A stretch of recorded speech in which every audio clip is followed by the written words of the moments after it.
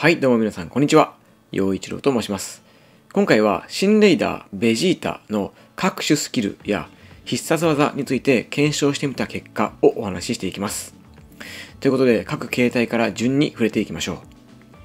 はじめに、第一形態である栽培マンは、武空術が使えないという仕様なので、空中を飛んで追いかけることこそできませんが、素早い壁蹴りで建物や崖の壁面を登ることができるほか、遠距離の気弾攻撃やスキル、妖怪液で建物やサバイバーを攻撃することができます。また、近接攻撃は当たると相手を即ダウンさせる、これまでにない恐るべき性能をしています。なので、サバイバー側は近づかれたら下手に応戦せず、しっかりと距離を離して逃げるようにしましょう。栽培マンが民間人だけで進化する場合は、4人をフィニッシュしなければいけません。サバイバーなら1人で進化できることを考えると、できれば民間人よりもサバイバーを狙いたいですね。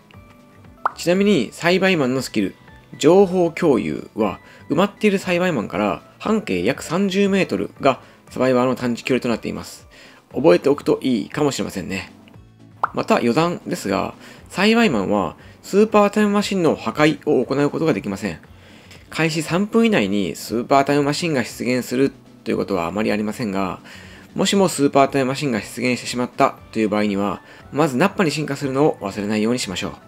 次に第2形態のナッパは、ドラゴンボールズブレイカーズで初めての回数制限付きのスキルを持っています。このスキルはトラップとして栽培マンを5体までマップ上に設置できますが、全部設置し終わるとクールタイムでは回復しないので、スキルが使えなくなってしまいます。なので、設置場所は慎重に考えたいところですが、一度設置された栽培マンは、ベジータに進化しても地面に残り続けるので、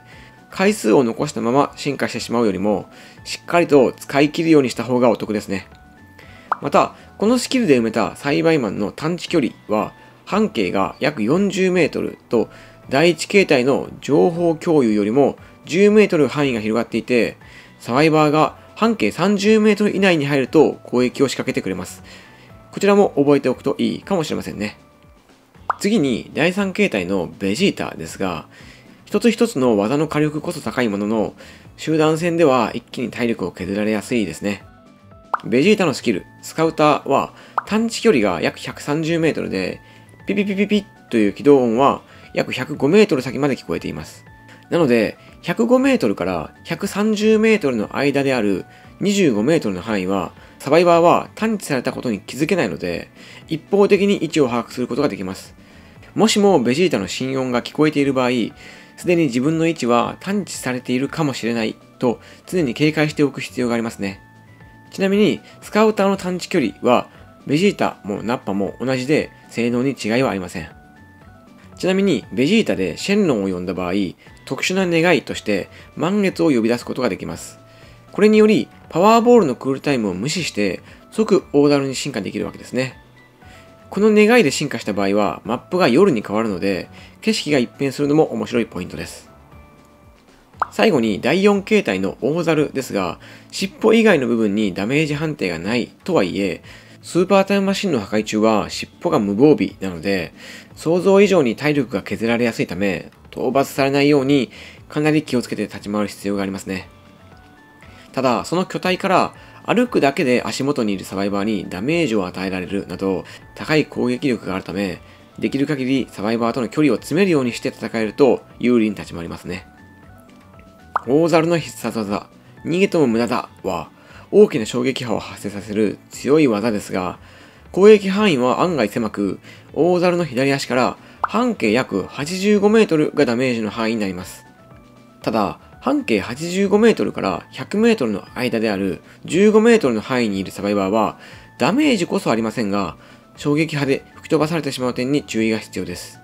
また、この半径の範囲は円柱状になっていまして、上下に関しては距離が無制限のようです。なので、攻撃範囲内にいれば、たとえ空を飛んでいても攻撃は当たってしまいます。この技を避ける場合は、上に飛ぶのではなく、横に飛ぶことに注力すべきということですね。ちなみにこの逃げても無駄だですが、強いのは威力だけで、回避やエネルギーフィールド、ドラゴンチェンジの無敵時間でもあっさりと避けられてしまいます。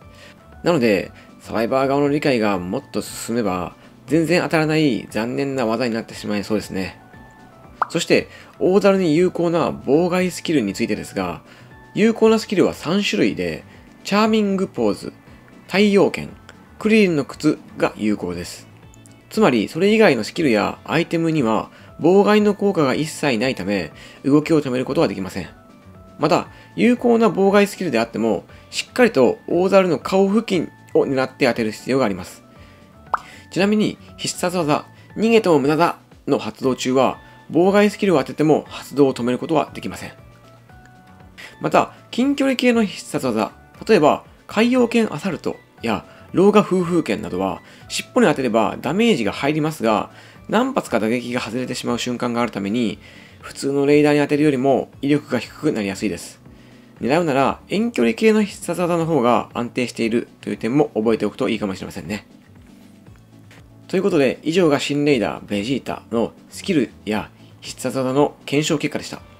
皆さんは新レイダーベジータを使ってみてどう感じましたか？